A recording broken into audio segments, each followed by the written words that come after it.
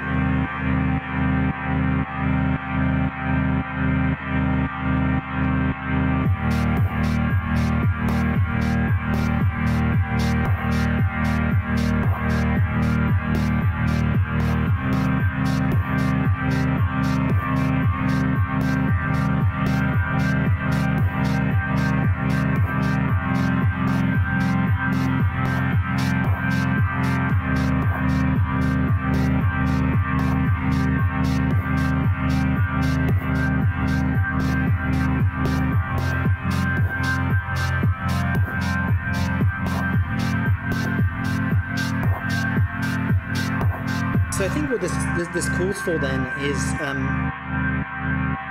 you know a politics of, of, of time and um, understanding you know these different qualitative experiences of time and how they um, and how you know this is the, the attack um, on that unpressured, unstressed, um, that time free of urgencies.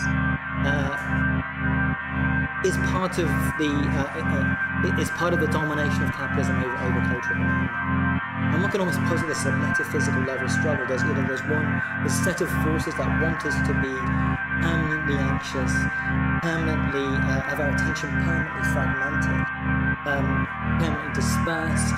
Um, and that, that is definitely winning. That is that, that's the that's, that's the dominant force moment.